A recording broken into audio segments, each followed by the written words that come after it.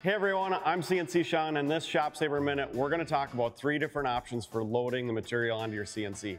You know, you've seen me in videos, we bring the material in here, we gotta load it all by hand. We do have a rack in here, sets up vertically, gotta go over there, grab it, a lot of manual labor. You know, when I got started, did something similar. We had a horizontal rack, set it in there, it could only hold so many sheets. It was just a lot of labor. And as we've grown, we get more material in, a lot more work to do. So we've looked at other options. We have one of those out in the shop here, so why don't we head out there and I'll show you the next one. Now that we're out in the shop, hopefully you can hear me, it's a little loud out here, but we're standing at the Schmalz vacuum lift.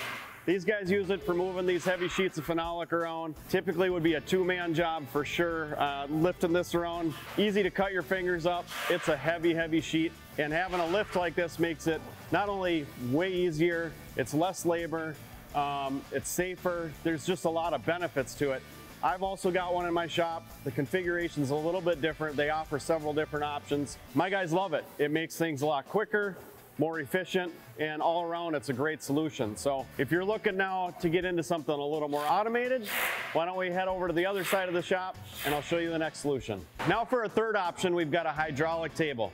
You know, one of the benefits here, you can grab your forklift, you can set a whole bunk of material on it, and paired with any machine, you could use a foot pedal, lift it up to the height you need, slide it right onto the machine.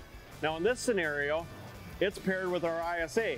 Everything's automated. The gantry will come back, suction cup, lift this sheet up, pull it onto the machine, cut everything. After it's finished cutting, it's gonna slide it onto a conveyor belt. All you've gotta do is be on the other end, unloading all your parts, and it's gonna do the rest. It'll cut this whole bunk for you. So if you're looking at more of an automated setup, this would do it for you, paired with that ISA. Now, if you got any more questions, be sure to give us a call. Thanks for watching this ShopSabre Minute.